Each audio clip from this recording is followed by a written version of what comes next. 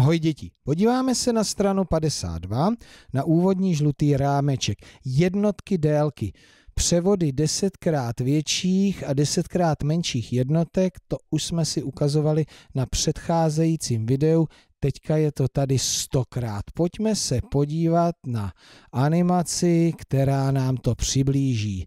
Tak, jednotky délky. Předpokládám, že se mi nyní jednotky délky představí a začneme základní jednotkou, což je metr. Tak, aha, takže opakování. Desetkrát menší jednotka je jeden decimetr, protože jeden metr rovná se 10 decimetrů a obráceně 10 decimetrů rovná se 1 metr desetkrát menší jednotkou než jeden decimetr je jeden centimetr, můžeme říct, že jeden decimetr rovná se 10 cm a 10 cm rovná se 1 decimetr. No a ještě jsme si ano, dříve představovali desetkrát menší jednotku, než je 1 cm a to je milimetr. 1 cm rovná se 10 mm, 10 mm rovná se 1 cm.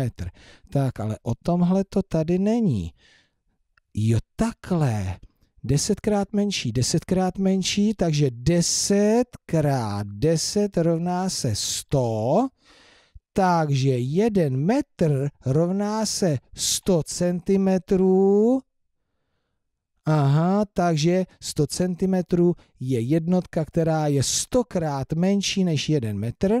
No a obráceně 100 cm rovná se 1 metr.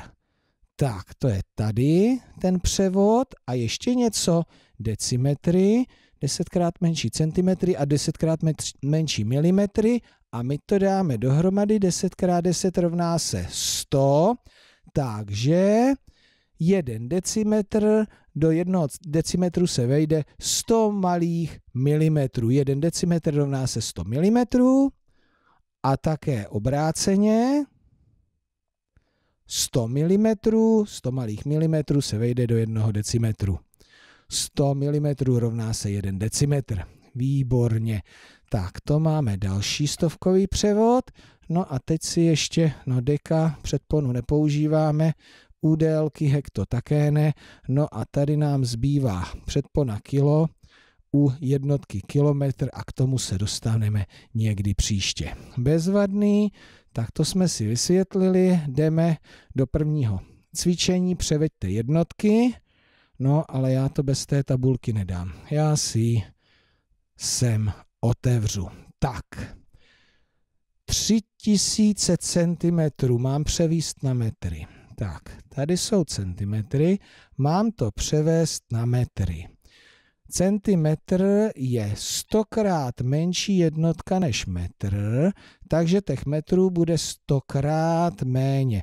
Když je to stokrát méně, musím ubrat dvě nuly, to znamená, že těch metrů je 30. 3000 cm rovná se 30 metrů. 60 decimetrů mám převést na milimetry. Milimetry jsou menší jednotka, protože jich, proto jich bude víc a bude jich víc stokrát, protože jsou stokrát menší. Když stokrát, tak dvě nuly přidáme, takže 60 a dvě nuly k tomu 6000. 60 decimetrů rovná se 6000 mm. 52 metrů, to jsem tady, a převádím na centimetry. Jsou menší, těch bude víc, takže a víc jej. Víc jich bude stokrát, přidám tam dvě nuly. Takže 52 s dvěma nulami 5200. Tak tohle jsou mé převody. No a teďka si na chviličku přerušte video a zkuste tu část B sami.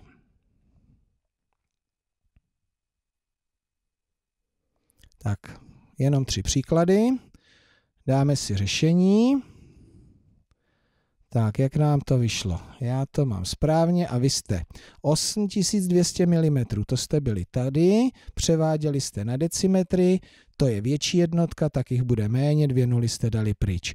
5600 cm, to jste tady, převádíte na metry, centimetry jsou menší, takže metrů bude méně, stokrát méně, takže dvě nuly pryč, 56 metrů a decimetry, to jsme tady, převáděli jsme na milimetry, ty jsou menší, takže jich bude víc, víc jich bude stokrát, protože jsou stokrát menší, rovná se 400 milimetrů. Máte? Perfektní. Tak, Jenže tady ještě dole čekají na vás další příklady. Já to tady ještě trošku zmenším.